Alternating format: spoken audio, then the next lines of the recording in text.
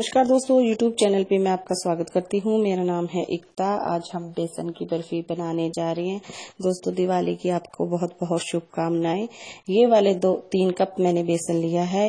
दो कप मैंने शुगर ली है, पिसी हुई शुगर ली है मैंने। एक कप मैंने घी लिया है और एक छोटा कप मैंने सूजी ली है। ये चार चम्मच के करीब है। बादाम लिए हैं, बीस एक और इलायची पाउडर लिया है। गैस पे कढ़ाई रखेंगे और घी डाल देंगे और बादाम को हम बारीक बारीक काट के रख लेंगे।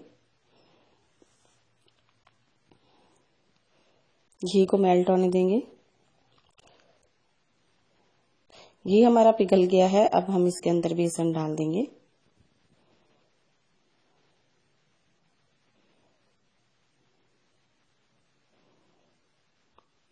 मिक्स कर देंगे अच्छे से।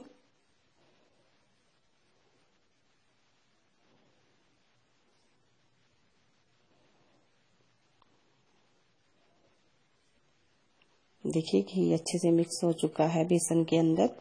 और इस तरह से हम मैश करते हुए इसको हल्का भून लेंगे। हमें हल्का बादामी कलर का करना है और गैस का फ्लेम हमें लो रखना है। लो रख के ही हम इसे भूनेंगे। देखिए, ये हल्का सा बादामी कलर का हो गया है, ज़्यादा नहीं हुआ, हल्का हुआ है।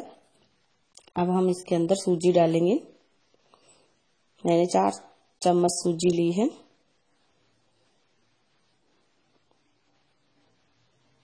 अब ये चार चम्मच सूजी हम इसके अंदर डाल देंगे। मिक्स कर देंगे अच्छे से। कई लोग पहले बेसन के साथ ही सूजी डाल देते हैं। अगर आप उस तरह से डालना चाहते हैं तो आप डाल सकते हैं, लेकिन इस तरह से सूजी डालने से बर्फ़ी काफ़ी टेस्टी बनती है। अब हम इसके अंदर शुगर डालेंगे। बेसन अच्छे से भून चुका है। इलायची पाउडर डाल देंगे पहले। एक छोटा चम्मच। मिक्स कर देंगे अच्छे से।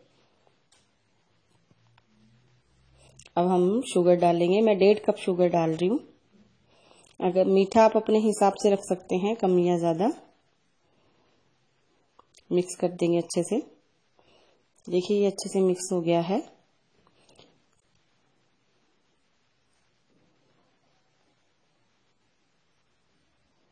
देख सकते हैं आप, अच्छे से मिक्स हो गया है। अब मैं एक चम्मच घी और डाल रही हूँ इसके अंदर, जिससे बर्फ़ी हमारी काफ़ी अच्छी और टेस्टी बनेगी।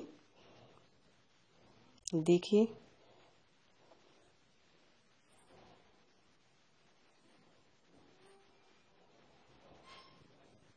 ये बर्फ़ी हमारी तैयार हो गई है।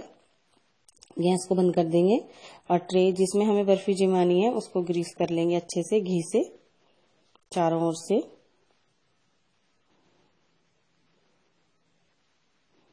और बर्फ़ी इसके अंदर डाल देंगे।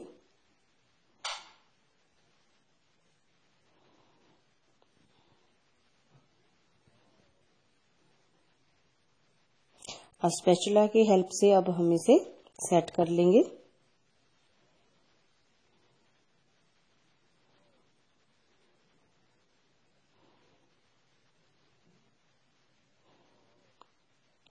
देखिए इस तरह से सेट कर लेंगे। खाने में बहुत टेस्टी बनती है। बर्फ़ी आप घर में आसानी से बना सकते हैं। अब मैंने जो बादाम लिए थे, वो इसके ऊपर गार्निश कर दूँगी।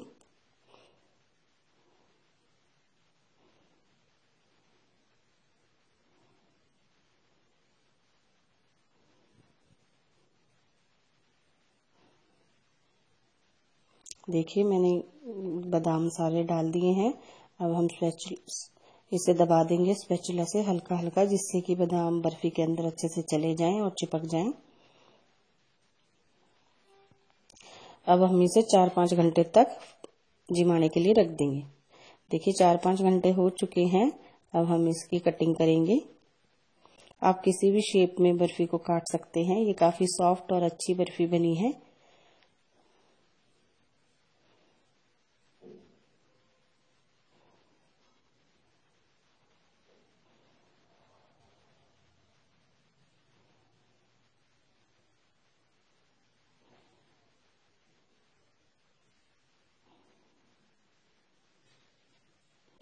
छोटे बड़े पीस आप अपने हिसाब से काट सकते हैं।